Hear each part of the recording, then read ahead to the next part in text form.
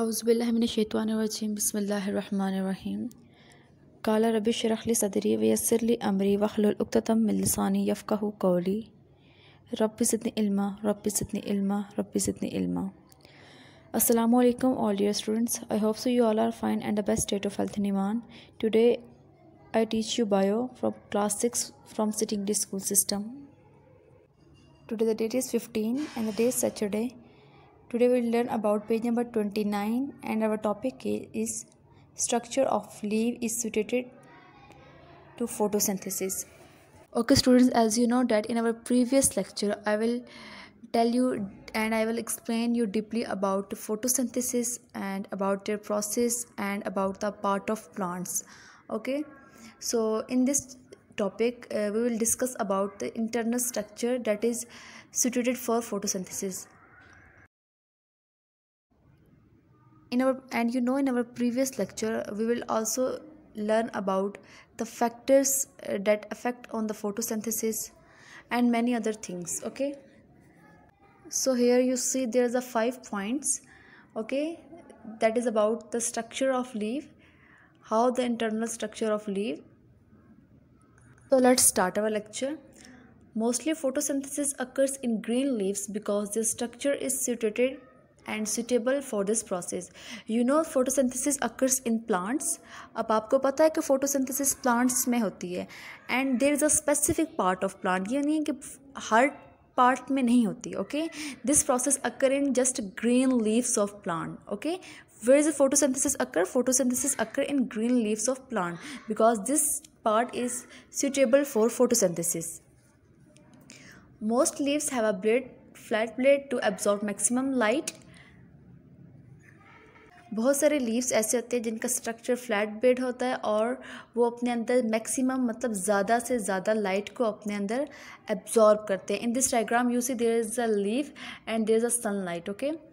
and point number two leaves are thin thin mean पतला okay leaves क्या होते हैं? पतले होते हैं थिन होते हैं। So carbon dioxide and light can reach to inner cells easily that's why carbon dioxide and light can reach to inner cells के जो लीव्स पतले होते हैं, जिसकी वजह से कार्बन डाइऑक्साइड और लाइट उनके अंदर इजीली एब्जॉर्ब हो जाती है और लीव्स के इंटरनल पार्ट और सेल्स तक पहुँच जाती है। Which thing is light okay that is due to the thinnerness of leaf point number three leaves have large number of stomata in the lower epidermis carbon dioxide can enter and oxygen and water vapours leave through this stomata carbon dioxide enter होता है और oxygen water vapours leave कर देते हैं stomata से निकल जाते हैं। Okay where is stomata is present you know, in the leaf there are three to four main parts and there are two layers. One is upper epidermis and the second is lower epidermis okay? And where stomata is present? Stomata and guard cells are present in the lower layer of epidermis. And in this process carbon dioxide are enter and oxygen and water vapor are leave these stomata. Point number 4 thick layer of mesophyll cells make enough food for the plant you know mesophills are the part of the leaf and it is present in upper epidermis and lower between the upper and lower epidermis okay mesophills कहाँ present होते हैं upper और lower layers के mid में और इनके अंदर photosynthesis का process होता है where in mesophyll cells okay और mesophyll cells में क्या करते हैं इनकी layer thick होती है थिक मीन मोटी और इसकी वजह से मीजोफिल यहाँ मीजोफिल का जो पार्ट है यहाँ पे प्लांट अपना फोटोसिंथेसिस के थ्रू अपना फ़ूड प्रिपेयर करता है that is the part okay so you know what is mesophyll cells these are present in the middle of the upper and lower layer okay and in the middle of mesophyll cells food making process is occur okay mesophyll cells के अंदर food making process होता है और इसी के अंदर food बनता है और मीज़ोफिल लेयर जो होती है वो बहुत थिक होती है okay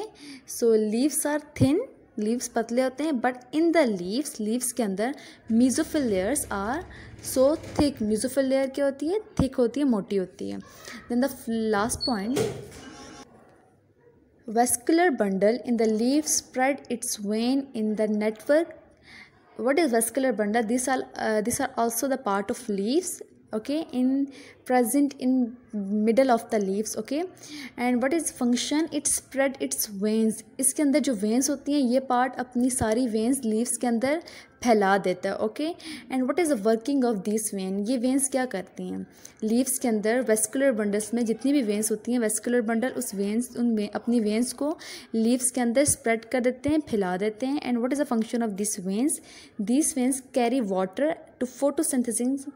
cells ये वेंस क्या करती हैं? फोटोसिंथेसाइजिंग सेल्स तक पानी को लेके जाती हैं and glucose away from them और उन सेल्स में से ग्लूकोज को लेके